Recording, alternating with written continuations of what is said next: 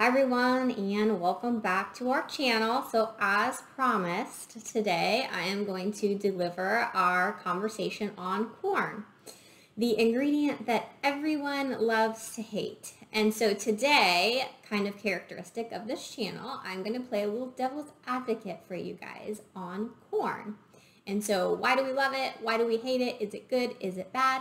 We're going to find out right now. So we're not going to go into extreme detail. We're going to hit the high points. We're going to kind of look into five of the um, myths, if you want to call them myths, or five of the truths, depending on which side of the argument you guys are on. And uh, I guess we're going to start out with uh, what is corn and how did we get on this kick about corn? And so uh, if you're new to this channel, my name is Dr. Rea. I am a small animal practitioner and welcome to the channel.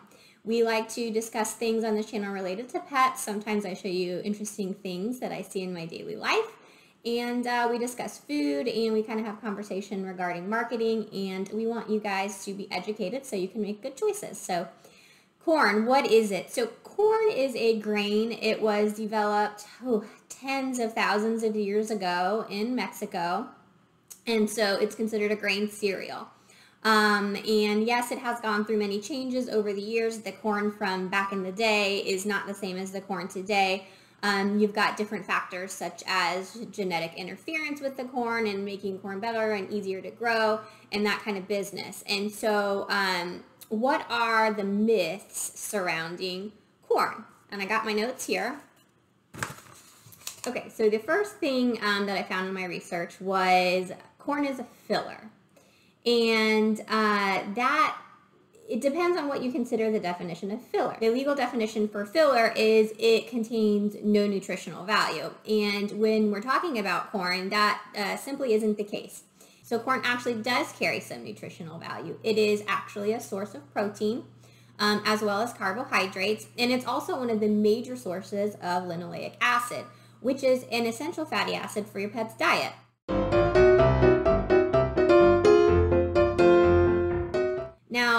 Are other things outside of corn that can contribute these factors. And so I think that's where kind of this pros versus con fits in. And so there are some other nutrients that can contribute linoleic acid, proteins, fats. Um, but it, it isn't a filler by definition because it does carry nutritional value. The other question is, if corn is a filler, why would a company add it to the diet? And so um, obviously pet food companies are out there to make money and they're going to make good business decisions. And why would they add something to a diet that has no nutritional value? And so that's something to think about. Um, and so why is corn always touted as a filler?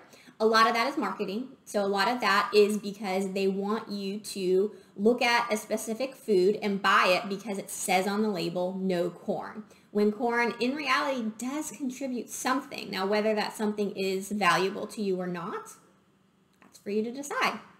All right, myth number two is that corn is not digestible. And so I can understand why that was um, on the list of things as a shunning of corn. And so uh, we've all had our dogs, my dogs have done this, they get out, they get into the deer corn. It's unprocessed kerneled corn. They eat it. I go out the next day and there it is, whole corn in the stool. And so clearly that's not digested. And I feel like that is a reasonable thought process.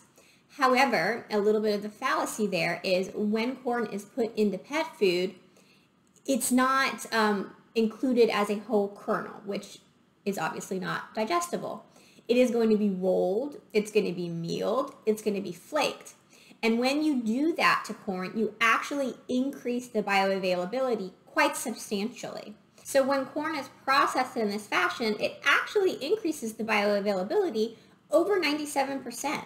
So that corn is highly digestible and it is providing appropriate nutrients to your pet. Now, what I will say is I would never, never, never recommend that you feed your pet whole corn cobs. And so if you are not familiar with some of our other videos, you can check out our foreign body video where we remove a whole kernel of corn from the intestine of the dog. Because um, yes, it is not it, it is not digestible in that form. However, when processed properly, super nutritious, and absolutely provides some essential nutrients. Another popular myth is in the wild, uh, wolves, dogs, they didn't eat corn. Um, and can't argue with that. Uh, they probably didn't. But as we've discussed before, uh, there is little to no wolf in our modern day domestic dogs. All dogs, no matter the breed, are descendants of the wolf. They share many similar traits, especially a love for meat. So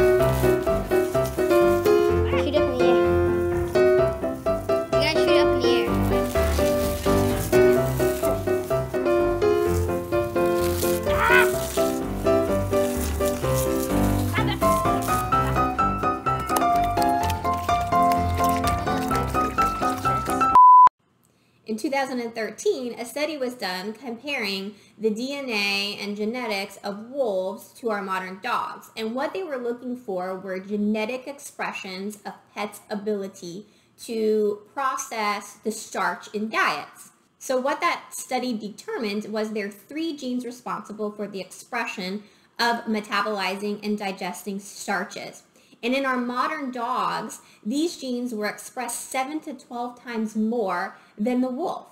And so our domestic animals are able to and have changed and evolved over the years to be able to digest and incorporate starches and carbohydrates and corn into their metabolism and into their diet. They can digest it. So one of the last things that people will um, villainize corn for is the fact that it's a cheap ingredient. And so companies put corn in their diet because it's cheap.